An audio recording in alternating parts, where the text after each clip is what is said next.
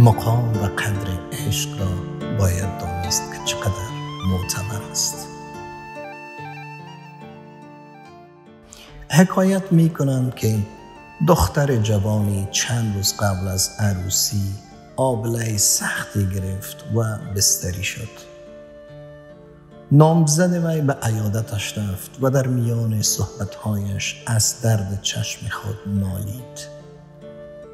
بیماری زن شدت گرفت و آبله تمام صورتش را پوشاند.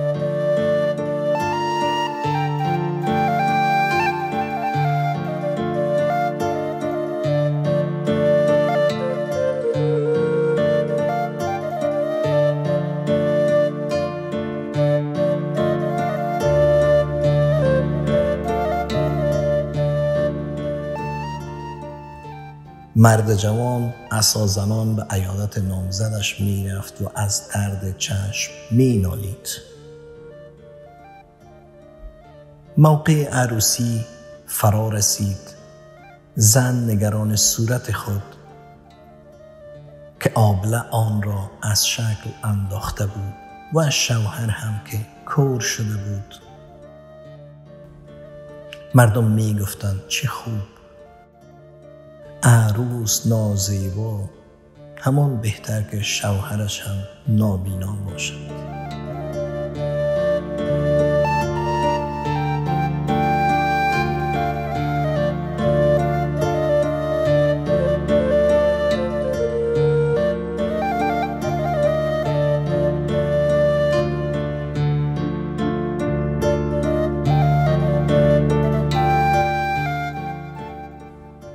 بیست سال بعد از ازدواج آن دو زن از دنیا رفت. مرد عصایش را کنار گذاشت و چشمانش را گشود. همه تعجب کردند. و فهمیدند که مرد بیست سال خود را به کوری زده بود.